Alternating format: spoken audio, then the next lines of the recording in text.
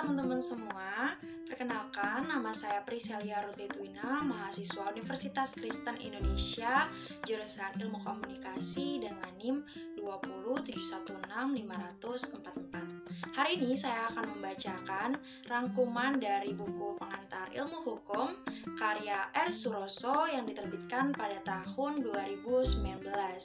Dalam buku ini juga termasuk materi dari mata kuliah pengantar ilmu hukum yang diampu oleh Ibu Diana Napitupulu. Baiklah, untuk mempersingkat waktu, mari kita mulai. Pengertian tentang pengantar ilmu hukum. Pengantar ilmu hukum terdiri dari kata pengantar dan ilmu hukum. Pengantar berarti membawa ke tempat yang dituju, maka pengantar ilmu hukum merupakan basis dasar yang tidak boleh ditinggalkan oleh mereka yang ingin mempelajari masalah dan juga cabang-cabang ilmu hukum. Pengertian dari segi ilmu hukum. Menurut pendapat Cross, ilmu hukum adalah segala pengetahuan hukum yang mempelajari hukum dalam segala bentuk dan manifestasinya. Cabang-cabang ilmu hukum yang termasuk dalam ilmu hukum. Yang pertama ada menurut Van Appendon, ada sosiologi hukum, sejarah hukum, perbandingan hukum. Yang kedua ada Lemar, uh, di dalamnya terdapat ilmu hukum positif, sosiologi hukum, perbandingan hukum, dan juga sejarah hukum. Lalu yang ketiga ada pendapat dari dari Belfroid, ada dogmatik hukum, sejarah hukum, perbandingan hukum, politik hukum, dan juga ajaran hukum umum. Menurut pendapat salah satu pakar hukum yaitu Sujono Dirjosisworo, pengantar ilmu hukum itu kerap kali oleh dunia studi hukum dinamakan ensiklopedi hukum, yang merupakan pengantar untuk ilmu hukum. Ilmu pengetahuan ini berusaha menjelaskan tentang keadaan, inti, maksud, dan tujuan dari bagian-bagian tersebut dengan ilmu pengetahuan hukum. Selanjutnya ada sejarah singkat pengantar ilmu hukum. Pengantar ilmu hukum berasal dari terjemahan bahasa Belanda yaitu Inleiding tot der Rechtswetenschap. Istilah ini dipakai pada tahun 1920. Di Indonesia, istilah tersebut telah dikenal sejak tahun 1924 dengan didirikannya Rechtshogeschool atau Sekolah Tinggi Hukum di Batavia atau Jakarta. Istilah pengantar ilmu hukum dipergunakan untuk pertama kalinya di Universitas Gajah Mada yang berdiri tanggal 3 Maret 1946. Tetapi pada tahun 1942, istilah tersebut sampai sekarang dijadikan mata kuliah dasar di setiap perguruan tinggi di seluruh Indonesia. Lalu ada peran dan fungsi pengantar ilmu hukum. Peran dan fungsi pengantar ilmu hukum adalah yang pertama memberikan introduksi atau memperkenalkan segala masalah yang berhubungan dengan hukum. Yang kedua, berusaha untuk menjelaskan tentang keadaan, inti, maksud, dan tujuan dari bagian-bagian penting daripada hukum. Yang ketiga, memperkenalkan ilmu hukum. Yang keempat, tanpa memahami pengantar ilmu hukum serta tuntas, tidak akan dapat diperoleh pengertian yang baik tentang berbagai cabang ilmu hukum. Lalu yang terakhir mengkualifikasikan mata pelajaran pendahuluan pembukaan ke arah ilmu pengetahuan hukum pada tingkat persiapan. Lalu ada kedudukan pengantar ilmu hukum di antara ilmu sosial lainnya, ditinjau dari segi ilmu sosial, dari segi ilmu sosial, pengantar ilmu hukum adalah suatu mata pelajaran yang merupakan pengantar ke, ala, ke arah ilmu hukum. Ilmu hukum ini termasuk ilmu sosial yang objek pendidik, penyelidikannya adalah tingkah laku manusia dan masyarakat dalam berbagai bentuknya yang dipelajari oleh ilmu hukum juga masalah manusia. Maka dari itu, kedudukan PIH atau pengantar ilmu hukum sejajar dengan ilmu-ilmu sosial lainnya. Metode pendekatan dalam mempelajari pengantar ilmu hukum. Pengantar ilmu hukum mempelajari hukum dari segi ilmiahnya secara sentral dan universal. Universal karena pandangannya adalah pada hukum yang berlaku kapan saja dan di mana saja, tidak dibatasi dengan negara. Maka pengantar ilmu hukum mempelajari hukum secara menyeluruh, mendapat suatu perpaduan pengetahuan yang benar-benar lengkap seperti yang ditulis oleh Fluke pada tahun 1925 Melalui segi lain, belajar mengenai pengantar ilmu hukum berjalan seret dan kurang menarik karena yang dibicarakan adalah ilmu hukum secara global dan jarang ditemui dalam praktik sehingga bagi dosen pengantar ilmu hukum diperlukan persyaratan khusus. Persyaratan sebagai dosen pengantar ilmu hukum. Luasnya ruang, ruang, ruang lingkup PIH serta diperlukannya pendekatan secara khusus, maka dosen PIH diperlukan persyaratan khusus menu, seperti menurut para ahli yaitu Ahmad Sanusi dalam bukunya PIH dan PTNI memberi penjelasan maka bagi seorang dosen PA, PIH harus memenuhi syarat-syarat yaitu yang pertama harus menguasai bahan-bahan baik keseluruhan pembahasan materi pembelajaran PIH maupun pengetahuan lainnya yang mendukung PIH. Yang kedua harus memahami syarat-syarat pedagogis dan yang terakhir harus mempunyai kemampuan untuk menarik serta membangkitkan semangat mahasiswa. Direktur Pendidikan Tinggi Departemen Pendidikan dan Kebudayaan menegaskan agar pemberian pembelajaran PIH jangan sampai merupakan pemberian pembelajaran filsafat hukum dan untuk memperluas pandangan mahasiswa sebaiknya diperkenalkan pula disiplin hukum selain ilmu hukum. Persyaratan bagi dosen pengantar ilmu hukum yang pertama, memahami syarat-syarat pedagogis. Yang kedua, mempunyai kemampuan untuk menarik serta membangkitkan minat dan semangat mahasiswa. Lalu memberi petunjuk kepada mahasiswa agar mahasiswa dapat belajar menurut caranya sendiri. Jangan sampai belajar hanya karena suatu kewajiban. Lalu untuk memperluas pandangan mahasiswa, Seyogianya diperkenalkan pula disiplin hukum selain ilmu hukum seperti politik hukum dan filsafat hukum. Lalu ada hakikat daripada pengantar ilmu hukum. Dari uraian bahwa pengantar ilmu hukum adalah suatu pelajaran atau mata pelajaran yang menjadi pengantar dan petunjuk jalan bagi orang yang ingin belajar ilmu hukum. Mereka tidak akan memahami dengan baik mengenai berbagai cabang ilmu tanpa menguasai mata pelajaran PIH terlebih dahulu. Yang kedua, sebagai mata pelajaran, PIH memberikan dan menanamkan pengertian dasar mengenai arti, permasalahan, dan masalah-masalah di bidang hukum. Lalu yang ketiga, PIH memberikan gambaran dan dasar yang jelas mengenai sendi-sendi utama hukum itu sendiri. PIH mempunyai cara pendekatan yang khusus memberikan pandangan tentang hukum secara umum. Kemudian ada ruang lingkup pembahasan pengantar ilmu hukum. Dari judul pengantar ilmu hukum terlihat bahwa yang menjadi objek pengantar ilmu hukum adalah ilmu hukum itu sendiri. Apakah ilmu hukum itu dan bagaimana ruang lingkup batasannya? Materi yang dibahas oleh pengantar ilmu hukum dapat dibagi dalam hukum sebagai objek ilmu hukum. Objek ilmu hukum memandang hukum dalam bentuk dan segala manifestasinya. Di sini harus tertuang pertanyaan-pertanyaan yang bersangkut paut dengan hukum. Misalnya, apakah hukum itu, apakah tujuan hukum, bagaimanakah hukum itu terbentuk, apakah sumber-sumbernya, dan bagaimanakah sistem dan klasifikasinya. Lalu ada ilmu hukum sebagai norma hukum, yang di dalamnya terdapat hukum sebagai kaidah hukum, lalu kaidah hukum dan kaidah lainnya. Ilmu hukum sebagai ilmu pengetahuan. Di dalamnya terdapat subjek hukum, objek hukum, peristiwa hukum, perbuatan hukum, hubungan hukum, akibat hukum, dan juga masyarakat hukum. Lalu ada ilmu hukum sebagai ilmu kenyataan. Di dalamnya terdapat antropologi hukum, sosiologi hukum, sejarah hukum, psikologi hukum, dan perbandingan hukum. Pengertian tentang hukum pendahuluan. Sebenarnya para sarjana telah lama mencari batasan tentang hukum tetapi belum ada yang dapat memberikan suatu batasan atau definisi yang tepat. Batasan-batasan yang diberikan adalah bermacam-macam, berbeda satu sama lain dan tidak lengkap. Maka masih tepatlah ucapan sarjana hukum Belanda Immanuel Kant yang pernah mengatakan Nutshesen die Juristen eine Definition zu heiren Begriff von Recht yang artinya lebih kurang lebih para yuris masih mencari suatu definisi mengenai pengertian tentang hukum.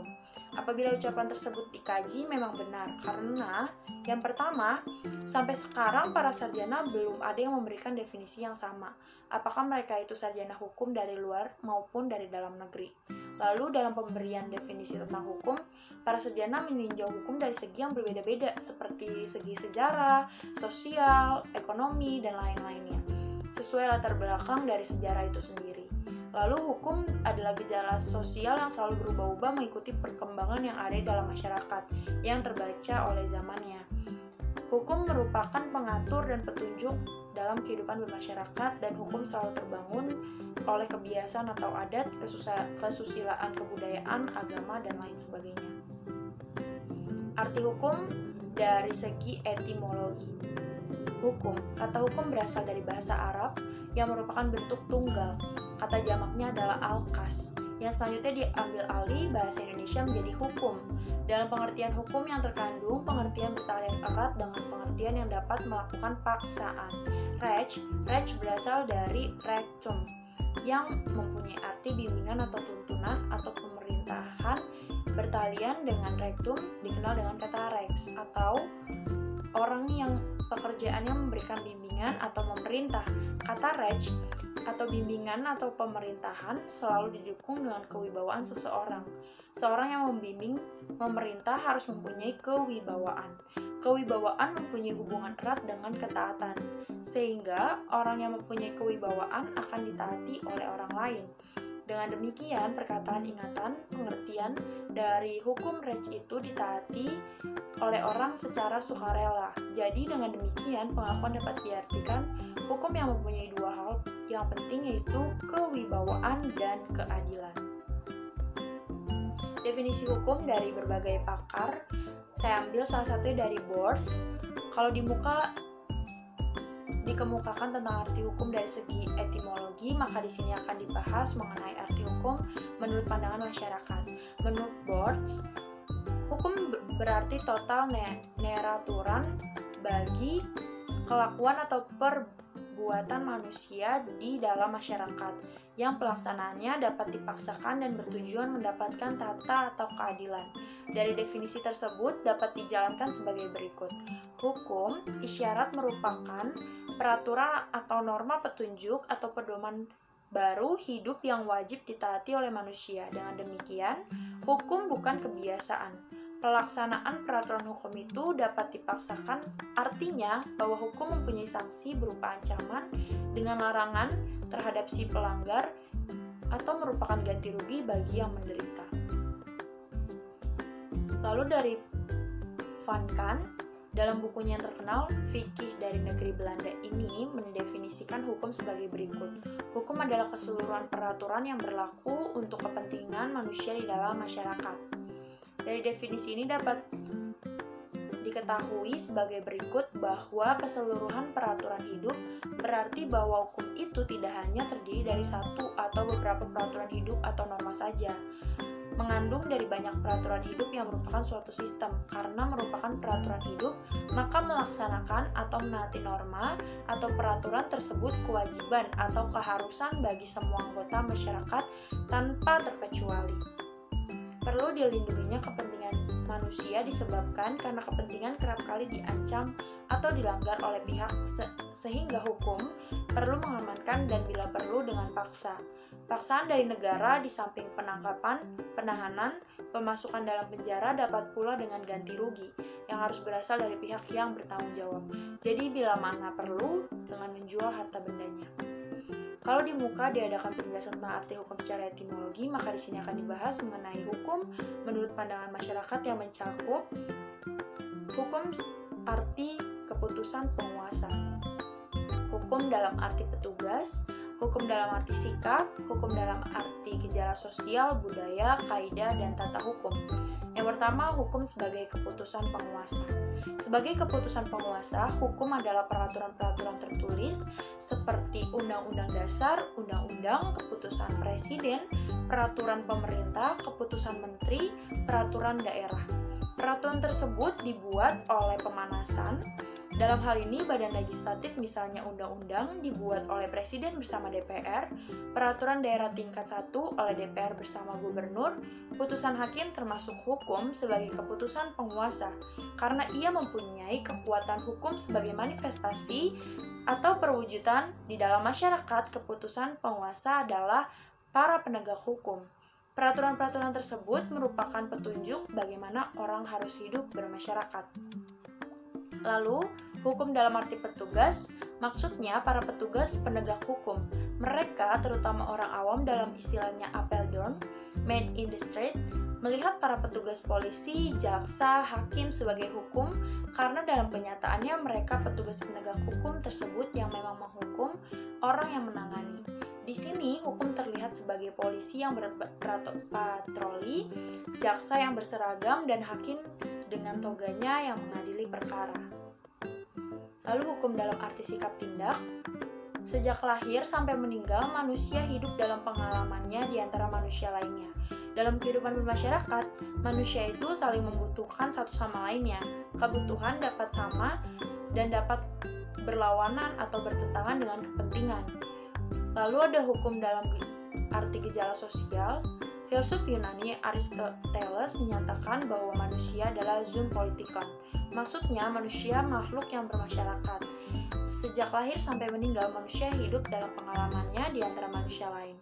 Ketentuan-ketentuan tersebut merupakan petunjuk hidup yang merupakan hukum yang berkembang bersama-sama masyarakat, atau dengan kata lain, perkataan hukum berarti sosial. Lalu hukum dalam arti kaidah, sebagai kaidah atau norma, hukum itu dapat dirumuskan sebagai berikut. Petunjuk-petunjuk ini menentukan sikap anggota masyarakat yang satu terhadap anggota masyarakat yang lainnya. Petunjuk wajib ini harus ditaati agar hukum sebagai e, pacuan dan sebagai tolak ukur dari norma yaitu pedoman. Lalu hukum dalam arti disiplin, suatu disiplin adalah informasi mengenai penyakit atau gejala-gejala yang muncul. Dalam hal ini hukum dalam arti disiplin melihat hukum sebagai bukti yang ada di tengah-tengah masyarakat. Disiplin hukum termasuk ilmu hukum, politik hukum, dan filsafat hukum yakni yang pertama ilmu hukum adalah ilmu yang berusaha menelaah hukum dalam segala bentuk dan manifestasinya. Politik hukum, ilmu hukum yang mempelajari hukum untuk mencapai tujuan yang dicita-citakan oleh masyarakat tertentu. Dalam hal ini merupakan kegiatan-kegiatan mencari, memilih, dan menerapkan nilai-nilai yang cocok bagi masyarakat yang bersangkutan. Filsafat hukum adalah ilmu pengetahuan hukum yang mengkreasikan dan merenungkan hakikat akan di dalam ilmu ini kemudian dasar-dasar kekuatan yang mengikat hukum. Hukum dalam arti ilmu hukum Hukum dalam arti sebagai ilmu hukum berarti ilmu tentang kaidah atau norma Wissenschaft atau Solon Wissenschaft yaitu ilmu yang menelaah hukum sebagai kaidah atau sistem kaidah-kaidah dengan dogmatik hukum dan sistem hukum. Hukum dalam arti tata hukum. Hukum dalam arti tata hukum adalah hukum yang sedang berlaku di suatu negara. Tata hukum biasanya juga disebut hukum positif atau ius constitutum. Hukum ini diwujudkan dengan peraturan-peraturan yang saling berhubungan dan saling menguntungkan tata hukum termasuk perbuatan apa yang boleh dilakukan dan perbuatan yang tidak boleh dilakukan. Lalu ada hukum terdapat di mana saja dan terdapat di mana-mana. Hukum terdapat di seluruh dunia. Asal ada masyarakat manusia.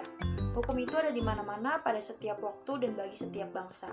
Apeldoorn pernah menulis Rage is over they care wealth over a war in some living found mentioned yes artinya hukum terdapat di seluruh dunia di mana-mana asal ada kehidupan masyarakat pengaruh pandangan-pandangan agama dan kesusilaan terhadap hukum memiliki kontribusi, langsung di dalam masyarakat atau melalui bandar undang-undang atau melalui pengadilan. Contohnya, kamu tidak boleh membunuh atau berzina. Kata kaidah agama.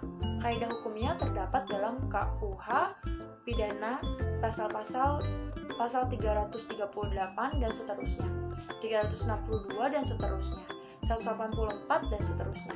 KUH Perdata pasal 1337 549 menunjukkan kaidah-kaidah moral yaitu tentang oral love or zak and Bazit together throw dan Dark Rider throw. Putusan pengadilan dalam menafsirkan adalah Onrecht de Geldat, Misborek, Van Brecht, Naturlich, Farbentens berdasarkan kaidah-kaidah moral.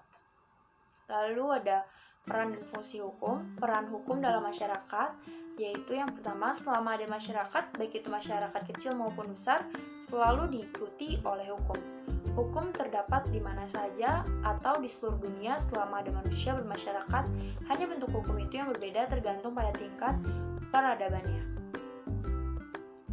Semua hubungan dan pergaulan sehari-hari pasti berhubungan dengan hukum atau hukum mempunyai peranan yang penting atas manusia bermasyarakat. Contohnya dengan keluarga, anak bersikap hormat dan segan kepada bapak dan ibunya tanpa sadar melaksanakan pasal 298 Undang-Undang Hukum Perdata. Dalam pekerjaan, hubungan kerja, orang bekerja dalam suatu instansi, menandatangani perjanjian kerja dalam suatu peraturan yang berlaku dalam KUH Perdata bab 7A pasal 1601 A sampai 1601C di dalam menjalankan pekerjaan atau profesi, di dalam melaksanakan pekerjaan, orang terkait peraturan kepegawaian dan beberapa lainnya yang berkaitan dengan masyarakat.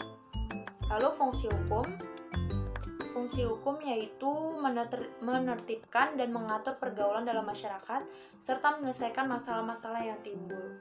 Fungsi-fungsi hukum yang utama yaitu sebagai alat pengatur tata tertib hubungan masyarakat, sebagai sarjana, sarana untuk mewujudkan keadilan sosial lahir batin, sebagai penggerak pembangunan, dan juga fungsi kritis hukum.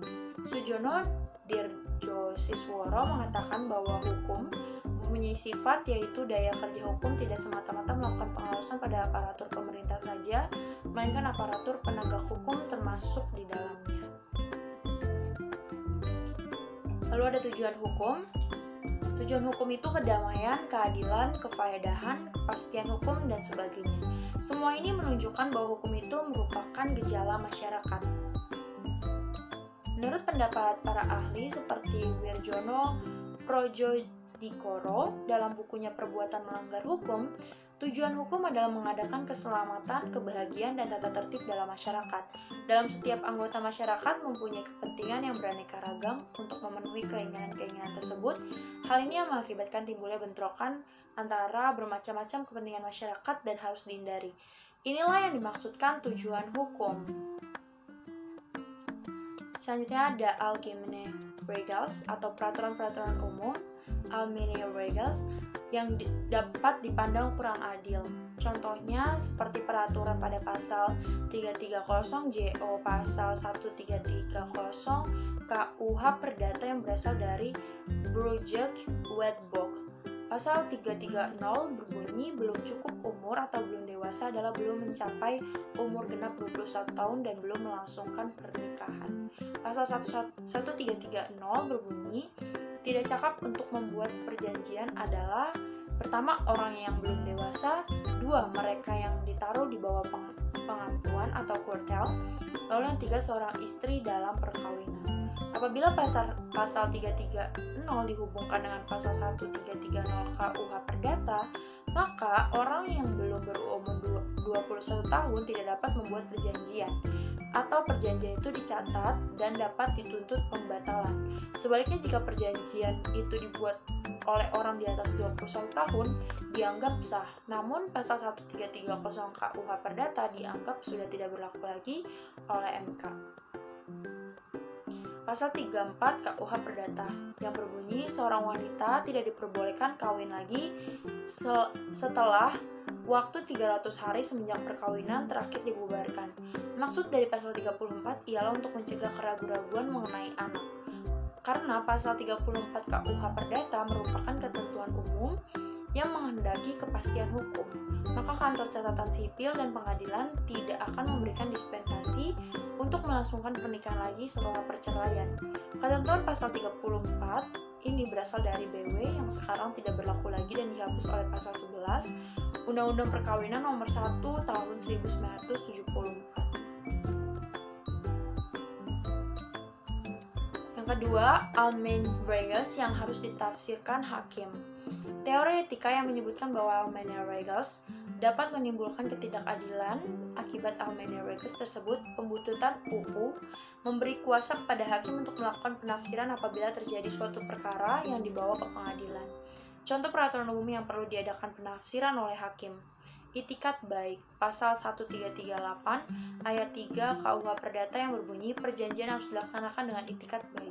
Salah satu cara penafsiran terhadap peraturan umum yang dilakukan hakim ialah menanyakan peristiwa atau kejadian kepada para pihak bersengketa, kemudian hakim menafsirkan apakah terdapat pelanggaran atas pasal undang-undang tersebut atau tidak, sehingga hal ini akan menghasilkan kepastian hukum yang akan menghilangkan atau mengurangi rasa ketidakadilan tentang keadilan. Keadilan distributif atau keadilan distributiva. Keadilan distributif ialah suatu keadilan yang memberikan kepada setiap orang didasarkan atas jasa-jasanya. Keadilan distributif berperan dalam hubungan antar masyarakat dengan orang. Lalu yang kedua, keadilan kumulatif atau justisia kumulatif. Keadilan, kum keadilan kumulatif ialah suatu keadilan yang diterima oleh masing-masing anggota tanpa memperdulikan jasa masing-masing. Keadilan kumulatif berperan pada tukar menukar antara barang yang ditukar, hendaknya sama banyaknya atau nilainya. Lalu ada hukum ditaati orang. Ketaatan pada hukum menurut Utrecht mengantar dalam hukum Indonesia dalam bukunya mengumpulkan orang menaati hukum karena bermacam-macam sebab. Salah satunya karena adanya paksaan atau akan dikenakan sanksi sosial. Orang merasa malu atau khawatir dituduh sebagai orang yang asosial apabila melanggar suatu kaidah sosial atau hukum. Ilmu hukum timbul dua pengertian yang penting sekali ialah kekuasaan adalah pengertian politik dan kekuatan adalah paksaan dari suatu badan yang lebih tinggi kepada seseorang.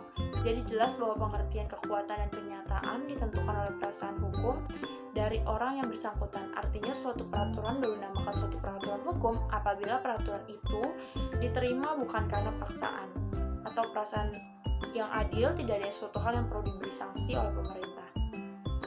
Yang kedua, hukum ditaati karena hukum itu bersifat memaksa. Yang ketiga, beberapa teori dan aliran menyebabkan mengapa hukum ditaati orang seperti mesbah hukum alam atau hukum kodrat yang berarti keadilan mutlak artinya bahwa keadilan itu tidak boleh diganggu. Hukum alam juga mempunyai sifat-sifat yang artinya hukum yang bergantung pada pandangan manusia berlaku kapan saja, di mana saja, bagi siapa saja dan jelas bagi semua manusia tanpa ada yang menjelaskan. Lalu ada ajaran mengenai hukum kodrat yang dikemukakan oleh Aristoteles berpendapat bahwa ada dua macam hukum. Yang pertama, hukum yang berlaku karena penetapan penguasa negara, dan yang kedua, hukum yang tidak tergantung dari pandangan manusia. Macam hukum yang kedua ini adalah hukum alam, yaitu hukum yang tidak tergantung dari pandangan manusia, akan tapi tetap berlaku untuk semua manusia kapan saja dan di mana pun dia berada. Ada juga beberapa ajaran hukum alam lainnya seperti dari Thomas Aquino, Hugh de Groot atau Grotius, dan juga Rudolf Steiner. Mazbah sejarah Mazbah sejarah dipelopori oleh Frederick Carl von Savigny Mazbah ini merupakan reaksi terhadap para pemuja hukum alam atau hukum kodrat yang berpendapat bahwa hukum itu bersifat rasionalistis dan berlaku bagi segala bangsa untuk semua tempat dan waktu. Lalu juga ada teori teokrasi. Teori ini menganggap bahwa hukum itu kemauan Tuhan. Dasar kekuatan hukum dari teori ini ialah kepercayaan kepada Tuhan. Tinjauan tentang hukum dikaitkan dengan kepercayaan dan agama. Lalu ada teori kedaulatan rakyat juga atau perjanjian masyarakat bahwa berdasar dari hukum ialah akal atau rasio manusia. Hobbes sekali Hobbes merupakan orang pertama dalam teori perjanjian masyarakat. Bagi Hobbes, keadaan alamiah sama sekali bukan keadaan yang aman, adil, dan makmur. Dalam kepustakaan ilmu politik dikenal dua macam perjanjian masyarakat, yaitu perjanjian masyarakat yang sebenarnya Maksudnya adalah perjanjian antara manusia dengan penguasa yang diangkat dalam Partum Unios yang isinya bahwa manusia itu berjanji untuk menyerahkan hak-hak yang diberikan hukum alam kepada penguasa serta berjanji taat. Yang kedua ada perjanjian pemerintah. Menurut John Locke, dalam Pactum Subventius, tidak seluruh hak manusia yang diserahkan kepada penguasa, tetapi hak-hak diberikan oleh hukum alam dan tetap melekat padanya. Hak itu adalah HAM, yang terdiri dari hak hidup, hak kemerdekaan, dan hak milik yang harus dimiliki. Lalu ada teori kedaulatan negara, teori kedaulatan hukum. Teori kedaulatan hukum itu berasal dari perasaan hukum yang ada pada sebagian besar anggota masyarakat dan hukum ditaati oleh anggota masyarakat. Lalu kodifikasi dan pengembangan hukum. Kodifikasi hukum adalah pembukuan hukum dalam suatu himpunan undang-undang dalam materi yang sama. Tujuan kodifikasi hukum adalah agar didapati suatu kesatuan hukum dan suatu kepastian hukum. Untuk mengatasi tidak adanya kepastian hukum dan kesatuan hukum di negara Perancis, maka Napoleon memerintahkan kepada Portalis agar disusun undang-undang nasional yang berlaku untuk seluruh negara Prancis. Setelah disetujui, rancangan undang-undang tersebut terdiri dari 2000 pasal, disahkan dan diundangkan sebagai Undang-Undang Nasional Prancis, Prancis yang berlaku di seluruh negara Prancis. Sejak itu Prancis ter terdapat adanya kesatuan hukum dan kepastian hukum. Ketidakadanya kesatuan hukum dan kepastian hukum terdapat pula di negara lainnya seperti Amerika dan Indonesia sendiri. Di Indonesia sendiri belum adanya kodifikasi atau hukum yang berlaku adalah hukum dengan adanya Code Civil atau Code Napoleon, timbullah anggapan bahwa seluruh permasalahan hukum sudah tertampung dalam undang-undang nasional. Dan di luar undang-undang nasional tidak ada hukum. Hakim hanya melaksanakan undang-undang yang berlaku di seluruh negara. Jean-Jacques Rousseau dalam mengembangkan pendapatnya yang memberikan beberapa ajaran ialah konteks sosial atau perjanjian masyarakat, teori kedaulatan rakyat, dan juga Salah satu yang menggunakan kode sipil atau asas koordinasi adalah negeri Belanda. Negeri Belanda dijajah oleh Prancis pada tahun 1811 sampai 1812 dan Belanda masih tetap memberikan kode sipil sampai negeri itu mempunyai UU nasionalnya sendiri yang berupa BW atau Burgerlijk Wetboek. Ini adalah kitba UU hukum perdata Belanda yang bersifat nasional yang sebenarnya merupakan kode sipil Napoleon. Lalu ada aliran-aliran hukum yang timbul kemudian seperti ajaran free Rachels, lalu ada aliran hukum bebas sosiopsikologi, dan juga aliran hukum bebas. Di dalamnya juga ada aliran Rechtstevning, aliran-aliran praktik hukum, aliran legisme. Setelah adanya kodifikasi di negara Prancis yang menganggap bahwa kode sivil Prancis sudah sempurna serta dapat menampung seluruh hukum, maka timbullah aliran legisme yang berpendapat bahwa satu-satunya sumber hukum adalah undang-undang, bahwa di luar undang-undang tidak ada hukum. Ada aliran Freirechtles atau Freirechtsbewung atau yang disebut sebagai hukum bebas. Aliran ini merupakan aliran bebas yang hukumnya tidak dibuat oleh legislatif dan menyatakan hukum terdapat di luar undang-undang. Berbeda dengan aliran legisme, di mana hukum terkait sekali pada undang-undang, maka hakim dalam free bebas menentukan dan menciptakan hukum dengan melaksanakan undang-undang atau tidak. Tujuan dari aliran ini ialah yang pertama memberikan peradilan sebaik-baiknya dengan cara memberi kebebasan kepada hakim tanpa terikat pada undang-undang tetapi menghayati tata kehidupan sehari-hari, membuktikan bahwa dalam undang-undang terdapat kekurangan-kekurangan dan kekurangan itu perlu dilengkapi dan yang terakhir mengharapkan agar hakim dalam memutuskan perkara didasarkan kepada rechtsstaat atau cita keadilan. Lalu ada aliran Rechtsdiving atau penemuan hukum Lalu ada juga uh, berbagai pembatasan mengenai kebebasan hakim seperti yang dinyatakan oleh beberapa ahli, yaitu Logeman berpendapat bahwa hakim harus tunduk pada kehendak membuat UU dalam arti kehendak seperti yang diketahui dan tercantum dalam peraturan perundang-undangan yang bersangkutan. Lalu juga ada pendapat lainnya seperti dari Polak dan juga Terhart. Aliran yang berlaku di Indonesia. Indonesia mempergunakan aliran Rechtbinding Ini berarti bahwa hakim dalam memutuskan perkara berpegang pada undang-undang dan hukum lainnya yang berlaku di dalam masyarakat secara gebonden fair trade. Tindakan hakim tersebut dilindungi oleh hukum yang didasarkan pada pasal 20 AB yang mengatakan bahwa hakim harus mengadili berdasarkan undang-undang dan pasal 22 AB hakim tidak boleh menolak mengadili perkara yang diajukan kepadanya dengan alasan tidak lengkapnya atau tidak jelasnya UU. Apabila penolakan terjadi, maka hakim dapat dituntut berdasarkan hearing. Lalu ada juga ter, e, cara terbentuknya hukum. Terbentuknya hukum bermulai dari kebiasaan kewajiban bersikap tindak yang demikian.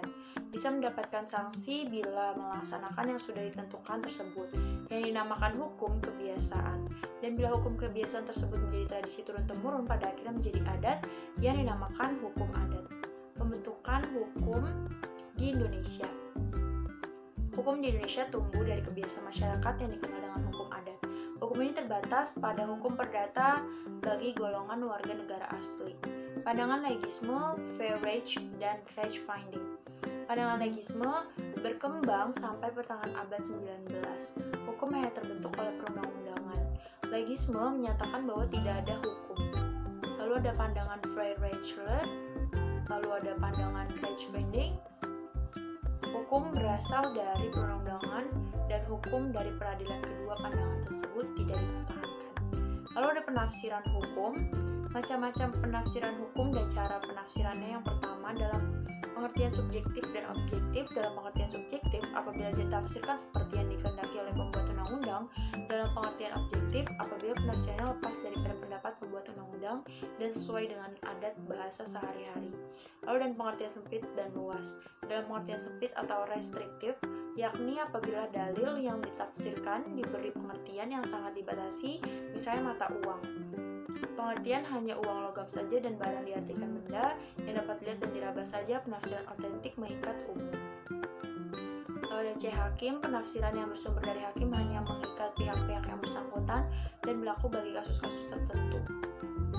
Dalam melaksanakan penafsiran peraturan perundangan, pertama-tama selalu dilakukan penafsiran karena pada hakikatnya, untuk memahami teks peraturan perundang-undangan harus dimengerti terlebih dahulu kata-katanya. Apabila sebuah metode tersebut tidak menghasilkan wajib, diambil metode penafsiran yang membawa keadilan setinggi-tingginya. Karena memang keadilan itulah yang dijadikan sasaran pembuat undang-undang pada waktu mewujudkan undang-undang yang bersangkutan. Contohnya, Orang yang belum dewasa, orang yang ditaruh di, di bawah pengampunan, orang perempuan dalam hal ditetapkan oleh undang-undang, dan pada umumnya orang kepada siapa undang-undang yang melarang membuat persetujuan tersebut. UU 14 tahun 1967 mengemukakan tentang usaha pokok bank memberikan kredit. Lalu ada juga pengisian kekosongan ke hukum. Pembuat undang-undang selalu ketinggalan dengan kejadian-kejadian sosial yang timbul kemudian di dalam masyarakat. Maka hakim sering menambah undang-undang itu. Jika hakim menambah peraturan perundang-undangan, berarti bahwa hakim mengisi kekosongan dalam sistem hukum formil dari tata hukum yang berlaku. Pengisian ruang kosong dalam undang-undang oleh hakim baru dapat diterima dalam bagian kedua abad 19. Lalu ada sumber-sumber hukum, arti tentang sumber hukum. Sumber hukum adalah segala sesuatu yang menimbulkan aturan-aturan yang mengikat dan memaksa sehingga apabila aturan-aturan itu dilanggar akan menimbulkan sanksi yang, sanksi yang tegas dan nyata bagi pelanggarnya. Sebagai asas hukum, sebagai sesuatu yang merupakan permulaan hukum, misalnya kehendak Tuhan, akal manusia, jiwa, bangsa, dan lain sebagainya.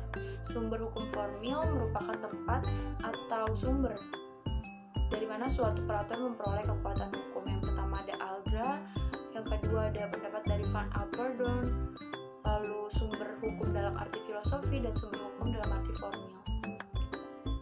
Lalu ada undang-undang. Undang-undang merupakan sumber hukum formal. Banyak orang yang termasuk tidak mengerti perbedaan antara undang-undang dan hukum. Mereka menganggap undang-undang yang dikeluarkan pemerintah adalah hukum dan oleh karenanya perlu diadakan pembahasan lebih lanjut tentang undang-undang yang dimaksud. Undang-undang dalam arti material di dalam praktiknya apabila ada orang mengatakan undang-undang tanpa keterangan lebih lanjut maka yang dimaksudkan salah undang-undang dalam arti formal. Menurut pendapat lama undang-undang adalah hukum. Dengan demikian timbul uh, timbullah anggapan bahwa undang-undang adalah hukum sehingga hakim yang merupakan sub, sub sumi otomat yang dalam memberikan putusan cukup dengan dasar undang-undang. Lalu ada kebiasaan, mengenal hukum kebiasaan merupakan tindakan menurut pola tingkah laku yang tetap dan lazim, normal atau adat dalam masyarakat atau pergaulan hidup tertentu. Pergaulan hidup ini merupakan lingkungan yang sempit seperti desa tetapi dapat luas juga yakni meliputi masyarakat negara yang berdaulat. Setiap daerah, setiap golongan punya kebiasaan sendiri-sendiri dan yang berbeda satu sama lain. Lalu ada penggolongan dan klarifikasi hukum.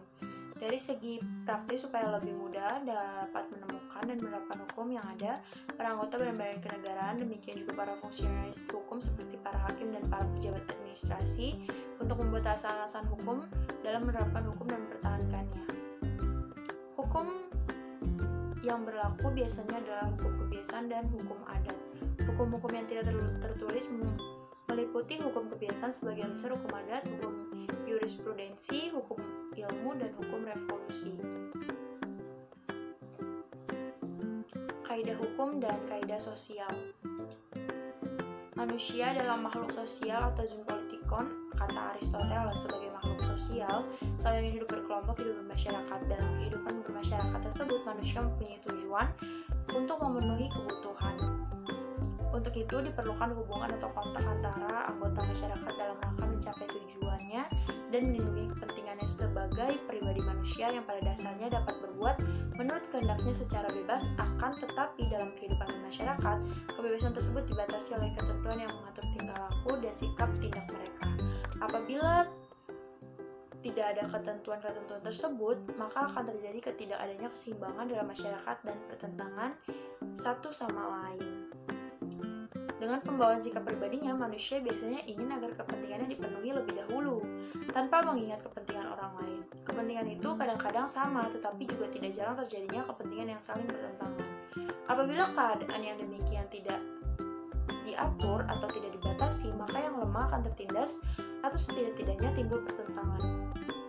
Aturan dimaksud disebut kaidah sosial. Kata kaidah itu sendiri berasal dari bahasa Arab dan norma berasal dari bahasa Latin yang berarti ukuran.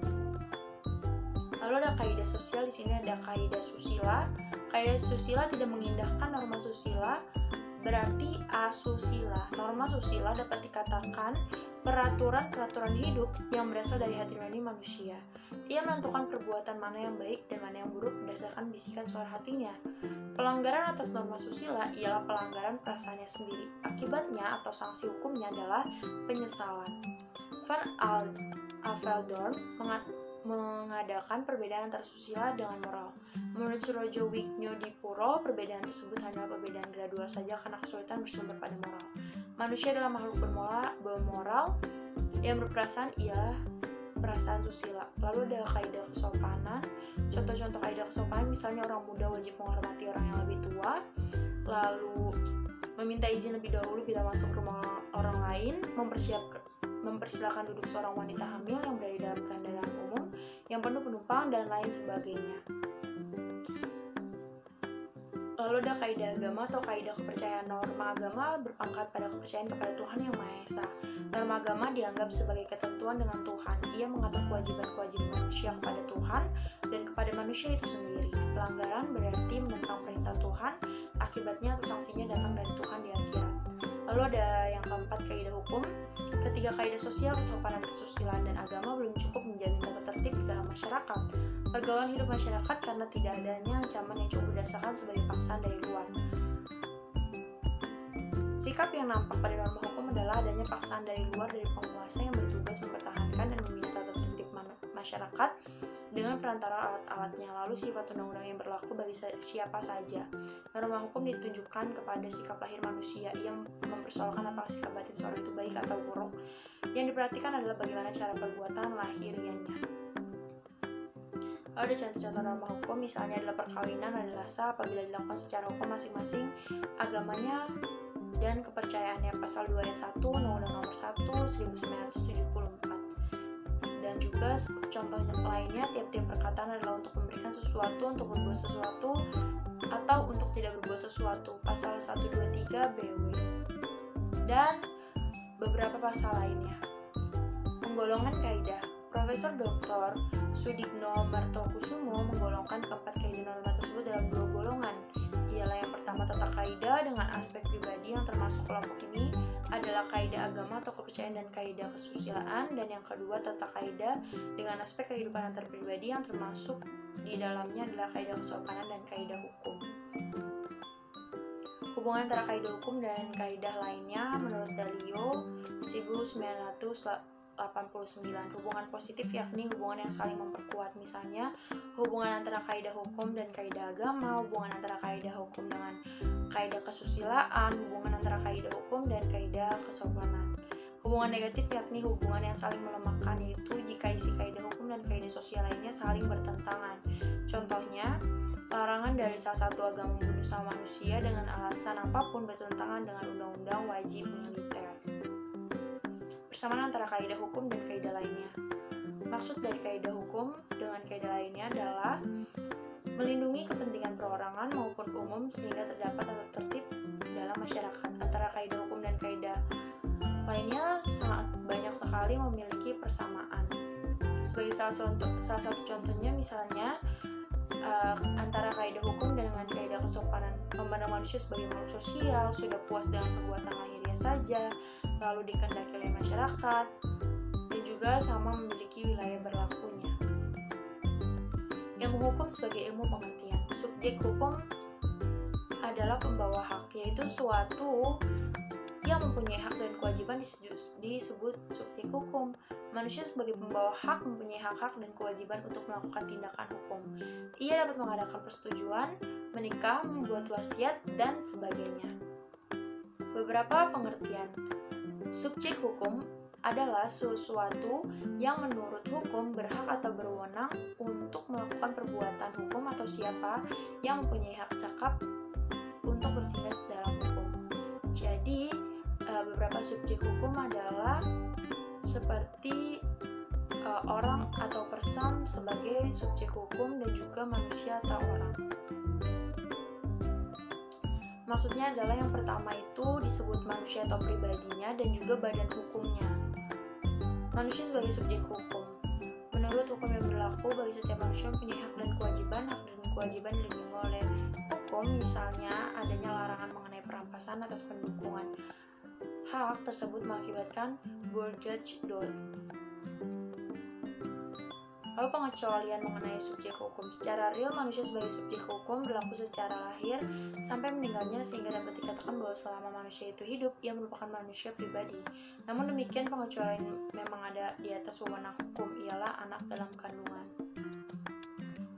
Artinya, anak yang ada di dalam kandungan seorang perempuan dianggap sebagai telah dilahirkan bila mana juga kepentingan si anak menghendaki mati sewaktu dilahirkannya dianggap ia tak pernah Badan hukum sebagai subjek hukum. Badan hukum adalah suatu perkumpulan orang-orang mengadakan kerjasama dan atas dasar ini merupakan kesatuan yang memenuhi syarat-syarat yang telah ditentukan oleh hukum. Badan hukum harus mempunyai syarat-syarat yang telah ditentukan oleh hukum yaitu memiliki kekayaan yang terpisah, kekayaan anggota-anggotanya. Lalu hak dan kewajiban badan hukum terpisah dari hak dan kewajiban para anggota-anggotanya. Lalu ada objek hukum, benda atau zaak sebagai objek hukum. Objek hukum adalah segala sesuatu yang berguna bagi subjek hukum dan yang dapat menjadi pokok permasalahan dan kepentingan bagi para subjek hukum. Oleh karenanya dapat dikuasai oleh subjek hukum. Pengetahuan tentang benda atau zaak terdapat secara luas pada buku 2 KUH Perdata tentang hukum kebendaan atau Second Branch yang berasal dari hukum barat yang mengatur secara umum dan luas tentang benda yang terdiri dari benda berwujud, benda bergerak, benda tetap, dan benda tak berwujud. Undang-undang ini mengatur tentang tanah. Manusia sebagai objek hukum.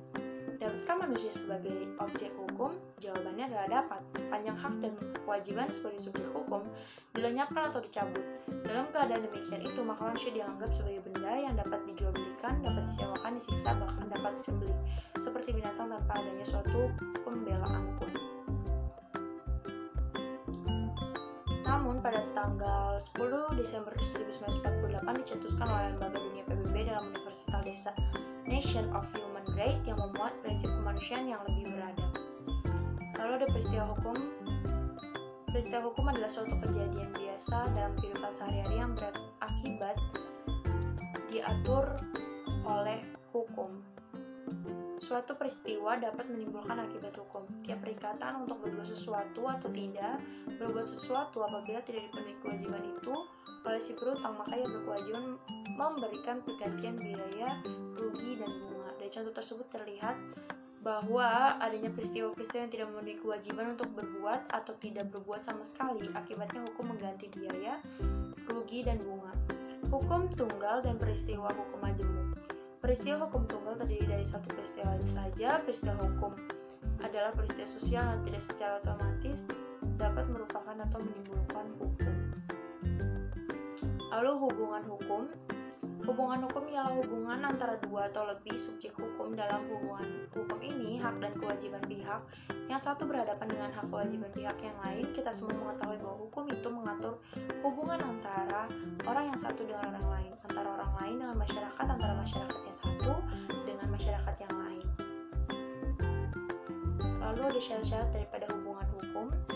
Dalam hukumnya, pasal 1474 dalam pasal 1513 KUH Perdata, yang masing-masing menetapkan bahwa si penjual mempunyai kewajiban menyerahkan barang dan sebaiknya si pembeli berkewajiban membayar harga pembeliannya. Karena adanya perjanjian jual beli, maka timbullah peristiwa hukum. Ialah suatu perhatian hukum yang akibat peraturan hukum yang akibatnya diatur oleh hukum. Lalu ada tentang hak, Beberapa pengertian tentang hak dalam ilmu hukum, hak juga disebut subjek, juga hukum subjektif. Hukum subjektif merupakan segi aktif dari hubungan hukum. Yang memilikannya terjadi di dua hak atau kewenangan yang penting ialah yang pertama yang mempunyai berwenang atau berhak mengunggul kenikmatan dan kepunyaannya dan yang mempunyai berwenang atau berhak memindah tangankan kepunyaannya. Lalu ada teori tentang hak, teori yang menganggap hak sebagai kepentingan yang terlindung, lalu yang kedua teori yang menganggap hak sebagai kehendak yang diperlengkapi dengan kekuatan, lalu kita akan masuk ada teori gabungan yang mencoba mempersatukan unsur-unsur kehendak dan kepentingan dalam pengertian hak dari Apeldoorn, hak adalah suatu kekuatan atau match yang diatur oleh hukum dan kekuasaan ini berdasarkan kesusilaan atau moral dan tidak hanya kekuatan fisik saja. Contohnya, pencuri mempunyai kekuatan atas barang yang dicuri, tapi kekuatannya itu tidak berdasarkan kesusilaan atau moral dan keadilan. Oleh karena itu, itu bukan hak. Lalu ada penyusialan hak, adanya penyusialan hak hukum yang mengubah sifat dan tujuan hukum yang merupakan pula sifat dan tujuan hak sehingga hak mengalami proses penyosialan bukan lagi individu yang diutamakan melainkan kolektivitas. Hak milik tidak lagi dapat dijalankan secara mutlak melainkan harus dijalankan sesuai dengan kepentingan masyarakat. Lalu menyalahgunakan hak menyalahkan guna hak menyalahgunakan hak dianggap ada apabila orang menjalankan haknya secara tidak sesuai dengan tujuan sosial. Lalu ada macam-macam hak Uh, yang pertama ada hak mutlak. Contohnya adalah hak mutlak berlaku omnes terhadap tiap orang yang bersangkutan. Lalu hak mutlak itu terbagi uh, menjadi hak pokok atau dasar manusia sasi.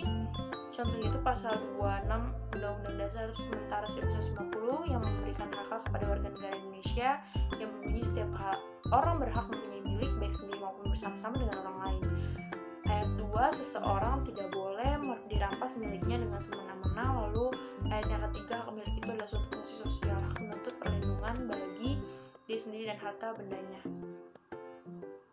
Kemudian hak publik absolut misalnya hak bangsa kemerdekaan atau kedaulatan yang tersebut dalam Undang-Undang Dasar 1945 ada hak pribadi manusia dan juga hak keluarga absolut juga terakhir ada hak atas kekayaan. Hak itu relatif maksudnya setiap kekuasaan atau kewenangan yang oleh hukum diberikan kepada subjek hukum lainnya tentu tertentu supaya ia berbuat sesuatu, tidak berbuat sesuatu atau memberi sesuatu. Hak relatif dibagi dalam yang pertama hak publik relatif contohnya hak dari negara untuk menghukum pelanggar membuat undang-undang pidana lalu ada hak keluarga relatif Maksudnya adalah suami dan istri yang mengikat di dalam suatu perkawinan dalam dan hanya karena itu pun terikatlah mereka dalam suatu perjanjian timbal balik akan memelihara dan mendidik sekian sekalian anak mereka. Lalu ada hak kekayaan relatif ya semua hak kekayaan yang bukan hak kebendaan atau barang ciptaan manusia. Contohnya tentang perutangan menjual buku pada B dari perjanjian jual beli itu timbul perutangan lalu ada hukum dan akibat hukum adalah setiap perbuatan manusia yang dilakukan dengan sengaja untuk menimbulkan hak dan kewajiban Perbuatan hukum atau tindakan hukum baru terjadi apabila pernyataan kehendak untuk adanya pernyataan kehendak diperlukan. A pernyataan kehendak secara tegas dapat dilakukan dengan tertulis dan dapat terjadi antara lain ditulis sendiri, ditulis oleh pejabat tertentu, mendirikan PT yang menurut pasal 38 KUHD, dilakukan pendiriannya dengan akte notaris, dan lain sebagainya. Lalu ada mengucapkan kata atau menggunakan isyarat, Pernyataan tentang kehendak secara diam-diam dapat diketahui dari sikap atau perbuatan. Misalnya, sikap dia ditujukan dalam rapat berarti setuju. Seorang gadis ditanya oleh orang tuanya yang dinikahi dengan seorang pemuda, gadis itu diam diri berarti ia setuju. Lalu, perbuatan hukum terdiri dari perbuatan hukum sepihak, contohnya perbuatan surat wasiat. Lalu ada perbuatan hukum dua pihak, contohnya persetujuan jual beli bukan peraturan hukum. Pernyataan kehendak menjadi suatu batasan untuk melakukan adanya atau terjadinya perbuatan hukum. Jadi dapat dikatakan bahwa kehendak dari yang melakukan perbuatan itu menjadi unsur pokok dari perbuatan tersebut. Bukan perbuatan hukum itu ada dua macam yaitu yang pertama perbuatan hukum yang tidak dilarang oleh hukum. Perbuatan ini menjadi akibat hukum yang tidak tergantung pada kehendak. Lalu yang kedua perbuatan hukum yang dilarang oleh hukum. Lalu ada akibat hukum akibat hukum ialah suatu tindakan yang dilakukan untuk memperoleh suatu akibat yang dikehendaki oleh pelaku dan diatur oleh hukum. Tindakan ini dinamakan tindakan hukum. Contohnya membuat wasiat dan pernyataan berhenti menyewa. Masyarakat hukum Aristoteles mengatakan bahwa manusia adalah zoologikan yang berarti bahwa manusia adalah makhluk sosial yang selalu berusaha untuk berkelompok dan bermasyarakat.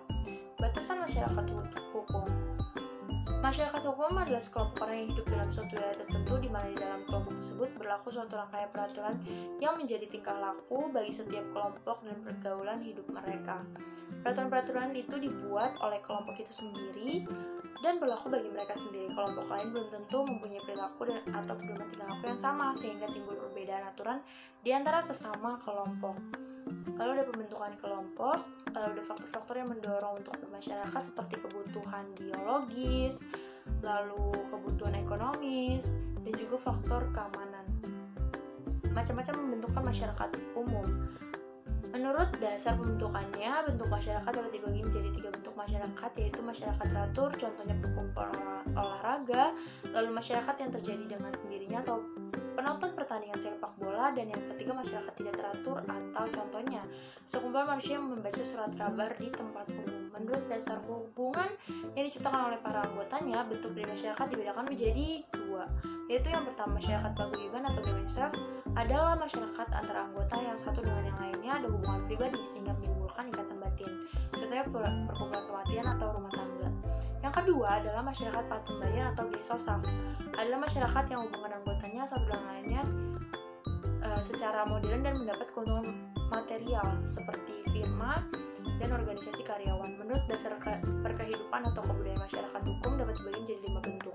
Masyarakat primitif dan masyarakat modern, masyarakat desa dan masyarakat kota, masyarakat teritorial masyarakat genealogis, dan juga masyarakat teritorial genealogis. Menurut hubungan keluarga, bentuk masyarakat hukum dibagi dalam yang pertama keluarga inti yang terdiri atas suami, istri, dan anak, yang kedua keluarga luas yang terdiri dari orang tua, saudara kandung, saudara sepupu, paman, bibi, sanak saudara, dan lainnya.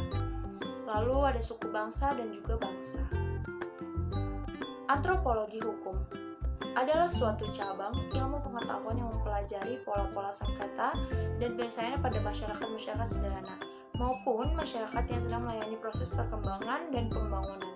Untuk ini, Surjono Sukanto mengadakan identifikasi terhadap per, per, uh, perlakuan nyata dari warga masyarakat. Yang pertama, anggapan masyarakat yang berdoman perihal perikelakuan yang pantas dan yang kedua mengadakan identifikasi terhadap perikelakuan nyata dari warga masyarakat.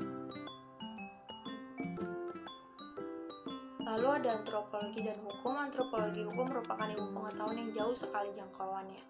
Ialah yang mengekspresikan kehidupan manusia dalam loyalitas sehingga segala segi kehidupan dibicarakan. Oleh karenanya, para antropolog, antropolog akan menghadapi banyak kesulitan dalam mempersalahkan definisi-definisi tentang hukum seperti yang kita kenal dalam ilmu hukum positif.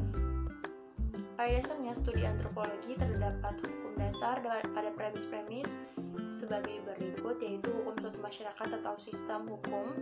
Suatu masyarakat harus diselidiki dalam suatu konteks sistem-sistem politik ekonomi dan agamanya. Dan juga dalam kerangka struktur-struktur sosial dan hubungan-hubungan antar orang dan berkelompok. Lalu ada sosiologi hukum. Sosiologi hukum adalah suatu cabang ilmu hukum secara empiris dan analitis tentang hubungan timbal balik antara hukum sebagai gejala sosial dan gejala-gejala sosial lainnya. Sosiologi hukum senantiasa menguji keahlian empiris dari suatu peraturan atau pernyataan hukum. Pernyataan itu bersifat khas di sini adalah bagaimanakah dalam kenyataan peraturan itu perbedaan yang besar antara pendekatan tradisional yang normatif dan pendekatan sosiologis adalah bahwa yang pertama adalah hukum, sedang yang kedua senantiasa mengujinya dengan data. Lalu ada objek atau sasaran sosiologi hukum, objek sasarannya ialah badan-badan yang terlibat dalam kegiatan penyelenggaraan hukum, seperti pembuat undang-undang, pengadilan, polisi, advokat, dan sebagainya. Untuk mengetahui bagaimana, bagaimana sikap sosiologi hukum terhadap bidang-bidang yang dipelajari, maka bentuk pertanyaanlah yang memudahkannya seperti yang diajukan oleh Profesor Sajipto Raharjo dalam bukunya yang menghukum.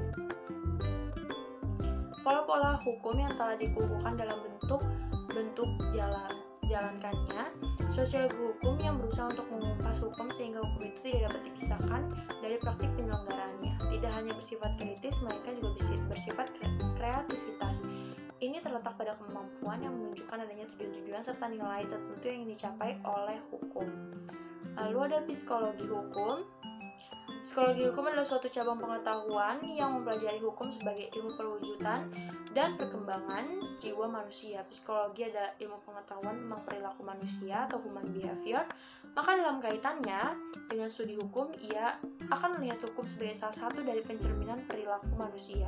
Sebagai contoh, hukum pidana misalnya merupakan bidang hukum yang berkaitan erat dengan psikologi seperti tentang paksaan psikologis, peranan saksi pidana terhadap kriminalitas, dan sebagainya yang menunjukkan hubungan antara hukum dengan psikologi. Jerome Frank dalam bukunya Law and the Modern Mind 1930 yang mengupas bahwa apa yang disebutnya sebagai suatu mitos dasar dalam hukum. Frank melihat bahwa hukum itu tidak pernah bisa memuaskan keinginan untuk memberikan kepastian. Menurut Frank, masalah ini tentunya tidak akan berakhir pada sesuatu yang nyata, melainkan menginginkan sesuatu yang tidak nyata atau unreal. Lalu ada sejarah hukum. Sejarah hukum adalah satu, salah satu bidang studi hukum yang mempelajari perkembangan dan asal-usul sistem hukum dalam suatu masyarakat tertentu dan memperbandingkan antara hukum yang berbeda karena dibatasi oleh perbedaan waktu. Lalu ada fungsi dan peranan sejarah hukum. Sejarah mempunyai kegunaan uh, memberikan pandangan yang luas bagi kalangan hukum. Hukum sebagai kaidah merupakan patokan berperilaku dan juga sejarah hukum juga berguna dalam praktik hukum. Sejarah hukum sangat penting untuk mengadakan penafsiran secara historikal terhadap peraturan-peraturan tertentu. Dalam pendidikan hukum, sejarah hukum akan sangat membantu. Untuk penelitian hukum, sejarah hukum juga berguna, terutama untuk mengungkapkan kebenaran dalam kaitannya dengan masa lalu dan masa kini. Dan sejarah hukum dapat mengembangkan fungsi dan efektivitas lembaga-lembaga hukum tertentu. Artinya situasi seperti apakah suatu lembaga benar-benar berfungsi atau tidak berfungsi sama sekali. Lalu ada perbandingan hukum. Perbandingan hukum ialah ilmu pengetahuan yang usianya relatif muda. Perbandingan hukum baru berkembang secara nyata pada akhir abad 20 perbandingan hukum lebih diperlukan karena dengan perbandingan hukum dapat diketahui jika jiwa serta pandangan hidup bangsa lainnya termasuk hukumnya. Lalu dengan disadarinya mengetahui hukum, sengketa dan kesalahpahaman dapat dihindari. Tujuan dari perbandingan hukum yaitu untuk mengetahui perbedaan dan persamaannya saja, tapi untuk mengetahui sebab dan faktornya mempengaruhi persamaan dan perbedaan. Perbandingan hukum mempunyai arti penting dalam praktik antara lain sebagai metode pertandingan perbandingan perbandingan hukum untuk memecahkan perselisihan yang bersifat nasional maupun internasional.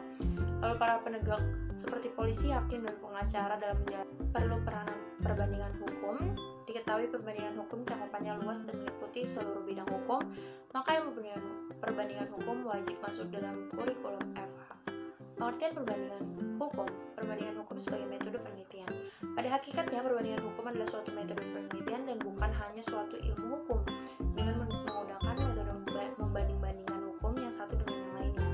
Perbandingan hukum dapat mempengaruhi ke bidang sejarah hukum, sosiologi hukum, dan dapat ke bidang filsafat hukum, yaitu mengarah ke sejarah hukum apabila yang dibandingkan adalah hukum yang sifatnya dan coraknya sama pada masa lampau dengan hukum yang masa sekarang, lalu mengarah ke filsafat hukum apabila persamaan-persamaan daripada lembaga-lembaga hukum yang dibandingkan merupakan inter dan hakikat daripada lembaga hukum yang dibandingkan. Mengarah ke sosiologi hukum apabila dua atau lebih sistem hukum dari suatu negara dibandingkan dengan sistem hukum negara lain. Lalu ada perbandingan hukum sebagai ilmu pengetahuan. Dari segi perbandingan, maka perbandingan hukum berasal dari kata banding. Membandingkan, membandingkan adalah mencari persamaan dan perbedaan dari berbagai objek dua atau lebih. Dan dalam hal ini dibandingkan adalah hukum.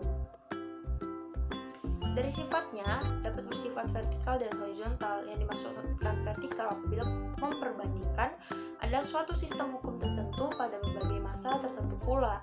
Perbandingan hukum horizontal apabila jika diperbandingkan lembaga hukum suatu daerah atau negara atau lembaga hukum atau daerah lainnya. Tujuan dari perbandingan hukum main dalam bukunya Village Communities dan Pollak dalam bukunya The History of Comparative Jurisprudence mengatakan bahwa tujuan perbandingan hukum adalah membantu menyelusuri asal-usul perkembangan daripada konsepsi hukum yang sama di seluruh dunia.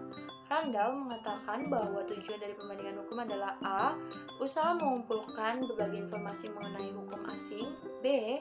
Usaha mendalami pengalaman-pengalaman yang dibuat dalam studi hukum asing dalam rangka pembaruan hukum Lalu ada fungsi teoritis daripada perbandingan hukum. Seperti dapat diketahui bahwa hukum dapat dimiliki oleh satu negara berbeda dengan hukum yang lainnya yang dimiliki oleh negara lain. Lewat perbandingan hukum dapat diketahui juga bahwa hukum sama sekali berbeda dan dapat memperlihatkan persamaan dalam konsep hukumnya atau dalam asas hukumnya bahwa dalam melakukan perbandingan hukum dapat terarah ke bidang hukum lainnya atau bidang sosiologi hukum, filsafat hukum, dan sejarah hukum. Fungsi praktis dari perbandingan hukum di samping bermanfaat bagi teori atau pengembangan ilmu hukum, perbandingan hukum juga sangat bermanfaat di dalamnya, khususnya bagi applied research dan pembentukan hukum baru. Lalu yang ketiga ada fungsi perbandingan hukum dalam pembinaan hukum. Melalui perbandingan hukum kita dapat mendalami bermacam-macam sistem hukum nasional maupun internasional dapat kita manfaatkan untuk mengembangkan ilmu hukum, praktik, dan pembinaan hukum. Yang kedua, perbandingan hukum membuka mata kita untuk menunjukkan adanya berbagai macam cara untuk menyelesaikan masalah-masalah hukum. Perbandingan hukum mempunyai fungsi yang sangat penting bagi pengembangan ilmu hukum, bagi praktik hukum dan dapat dan bagi pembinaan hukum. Melalui perbandingan hukum kita dapat mendalami dan memperluas ilmu pengetahuan hukum antara lain yang pertama dapat mengetahui bahwa sistem hukum yang berbeda melahirkan lembaga-lembaga hukum yang berbeda pula. Dapat mengetahui adanya serta sebab akibat dari persamaan dalam sistem hukum yang sama sekali berbeda. Lalu melalui perbandingan hukum dapat mendalami bidang-bidang filsafat hukum, sosiologi hukum, dan sejarah hukum sekaligus. Perbandingan hukum membantu para penegak dan juga notaris wasit badan legislatif dan badan eksekutif dalam menyelesaikan tugasnya karena perbandingan hukum dapat menciptakan kaidah-kaidah hukum baru dan memberikan alternatif-alternatif yang dapat dipilihnya. Lalu ada manfaat perbandingan hukum yang pertama ada manfaat ilmiahnya adalah untuk mengungkap latar belakang dan sebab-sebab dari persamaan dan perbedaan tersebut dan akhirnya menemukan hakikat daripada hukum yang diperbandingkan. Lalu ada manfaat praktisnya sebagai penunjang dalam usaha pembentukan hukum nasional.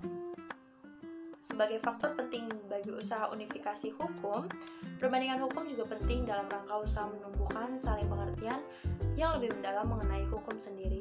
Lalu perbandingan hukum juga penting dalam rangka, rangka pelaksanaan HPT mengenai penanaman modal asing, mengenai domisili seseorang, tempat kedudukan badan-badan hukum. Lalu ada perbandingan hukum juga bermanfaat bagi unifikasi hukum. Unifikasi hukum berarti berlakunya suatu macam hukum berbagai golongan masyarakat dan unifikasi ini bersifat nasional maupun internasional seperti UU PE dan UU Perkawinan nomor 1 tahun 1974 Unifikasi Nasional.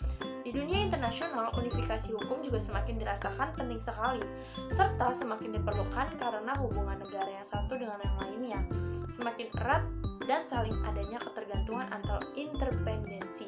Interdependensi ini disebabkan oleh adanya spesialisasi sehingga masing-masing negara tidak dapat memenuhi sendiri kebutuhan warga tanpa bantuin bantuan negara lain.